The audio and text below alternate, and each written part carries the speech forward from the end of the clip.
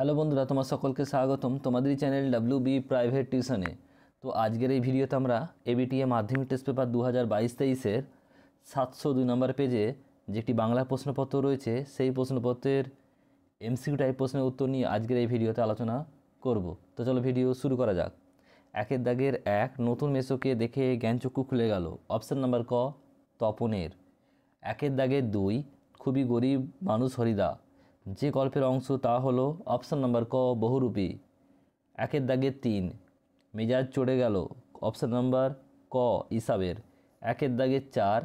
হেঁটে গেল গির্জার এক। অপশান নাম্বার ক, নান। একের দাগের পাঁচ। অস্ত্র ফেলো, অস্ত্র রাখো। অপশান নাম্বার ক, পায়ে। একের দাগের ছয়। সিন্ধু তীরে কবিতার কবি হলেন। অপশান নাম্বার ক, সৈয়দ আলওয়াল একের দাগের সাত বিখ্যাত লেখক শৈল শৈলজানেন্দ্রের নন্দের কাছে ফাউন্টেন পেন ছিল। অপশান নাম্বার ক, চব্বিশটা।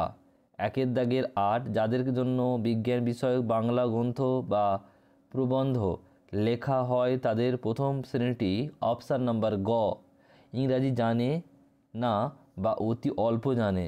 একের দাগের আট, নিজের হাতের কলমের আঘাতে মৃত্যু হয়েছিল যে লেখকের, তার নাম অপশান নাম্বার গ তৈলক্যনাথ মুখোপাধ্যায়। একের দাগের নয়।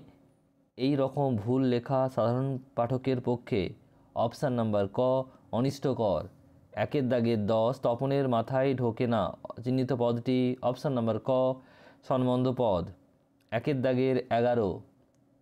কর্মধারায় সমাসে প্রাধান্য থাকে অপশান নাম্বার খ, পরপদের অর্থের। একের দাগের বারো, বলছে ছোট মাসি একটি গল্প লিখেছিল, নিম্নলিখিত পদটি যার উদাহরণ অপশান নাম্বার ঘ সম্বন্ধ পদ। একের দাগের তেরো, তাণ্ডবের বলছে দুন্দুনি না দে দুন্দুনি শব্দ অর্থ ব্যাসবাক্য হলো অপশান নাম্বার ক। একের দাগে চোদ্দ, মুখচন্দ্র সমান মুখচন্দ্রের ন্যায়, সমাজটি অপশান নাম্বার খ, উপমিত কর্মধারায়।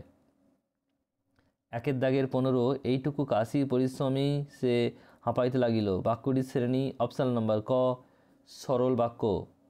একের দাগের ষোলো, বাক্য নির্মাণের শর্ত অপশান নম্বর ক, তিনটি। একের দাগের সতেরো, পাঁচ দিন নদীকে দেখা হয় নাই। এটি যে বাচ্চার উদাহরণ, অপশান নম্বর গ, ভাববাচ্য।